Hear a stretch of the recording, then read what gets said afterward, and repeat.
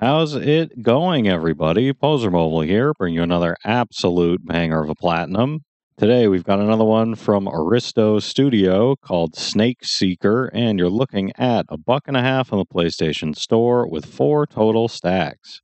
This is Snake. I'm going to go out on a limb here and assume that the vast, vast majority of you viewers out there have at least heard of or played Snake or some version of it. You're a snake, you pick things up, you get longer, and you don't want to run into yourself or any obstacles.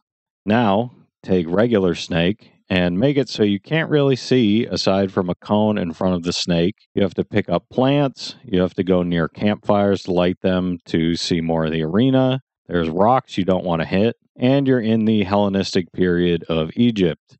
Control wise, all you're doing is moving the snake with the D pad, so not a whole lot of explaining to do there. As far as the trophies go, your only real goal is to complete the first three levels.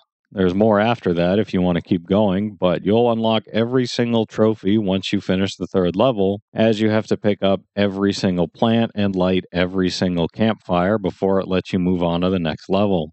Even when I did run into a rock, it just resets you back to the middle of the level, but keeps your progress for the level you're on, so you can just continue on as though nothing really happened. Going in completely blind, this took me right around five minutes to finish. It's Snake, so if you've ever played anything like this before, you know what you're doing. Collecting all 75 plants might seem daunting at first, but they're pretty close to each other as the first three levels aren't super huge. That'll do it for me, though, everybody. Super easy, cheap, fast, simple platinum today.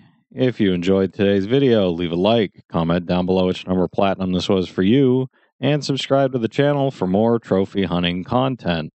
This was number 955 for me.